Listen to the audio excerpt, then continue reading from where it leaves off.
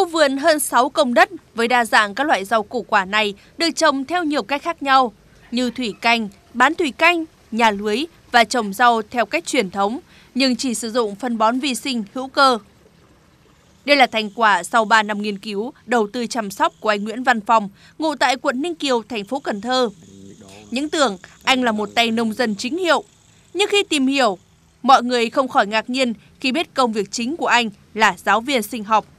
Hiện anh đang công tác tại Trung tâm Giáo dục Thường xuyên Bình Thủy, thành phố Cần Thơ. Ban đầu thì mình ờ, tìm mua mấy sản phẩm sạch cho con mình dùng. Thì mình ra ngoài chợ mình kiếm rất là khó, cho nên mình mình phải trồng để cho con mình dùng. Và khi mình trồng thì mình cảm thấy ờ, à, sản phẩm là ờ, nó thật sự nó cũng không khó lắm.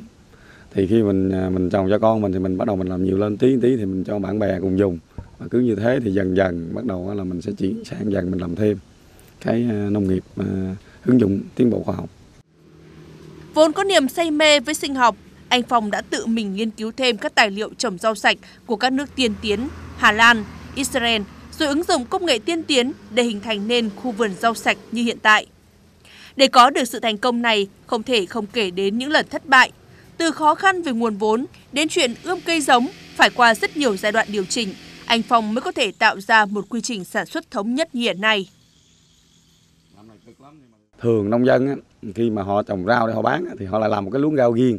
Họ để dành để họ họ, họ dùng còn cái luống rau bán là họ trồng riêng còn mình là khác.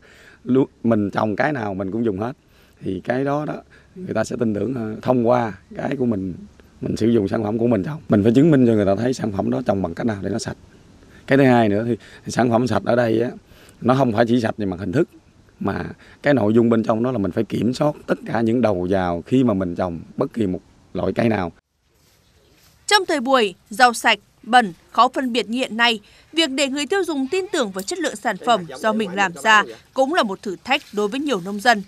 Thế nhưng với quan niệm rằng niềm tin của khách hàng không gì là tuyệt đối nếu không cho họ được tự trải nghiệm và cảm nhận, anh Phong đã quyết định mở cửa vườn rau sạch của mình để khách đến tham quan. Khi đến đây, ngoài việc mua những loại rau quả sạch ngay tại chỗ, mọi người còn có cơ hội tham quan và tận mắt chứng kiến quy trình trồng và chăm sóc các loại nông sản sạch. Thú vị hơn nữa là tại khu vườn của anh Phong, khách tham quan còn được trải nghiệm mỗi ngày làm nông dân, thử trồng trọt và chăm sóc cây.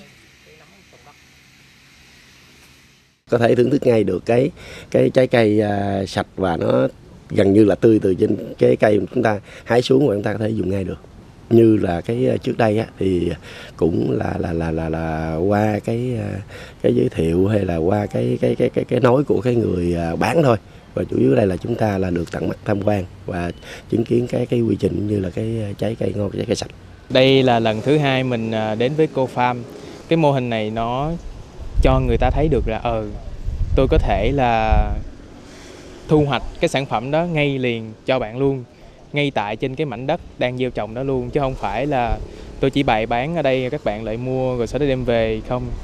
Tôi sẽ trực tiếp tôi xuống vườn, tôi sẽ cắt, tôi sẽ thu hoạch đem lên cho bạn. Khi mà mình làm cái sản phẩm sạch thì cái mình muốn nhất là mọi người được sử dụng sản phẩm của mình và đem lại cho họ có một cái sức khỏe tốt. Cái định hướng là làm sao đó giúp được cho nhiều người tiếp cận với cái cách trồng sạch để có được sản phẩm sạch. Càng ngày càng nhiều người dùng thì mình sẽ cảm thấy điều đó mình mình là mình mừng bởi vì mình lan tỏa được. Nông trại của anh Phong hiện nay không chỉ là nơi cung cấp rau sạch cho nhiều hộ gia đình trong và ngoài thành phố, mà còn là địa điểm tham quan của nhiều du khách đến với Cần Thơ. Hy vọng rằng trong tương lai không xa, mô hình này sẽ được mở rộng và ngày càng phát triển hơn.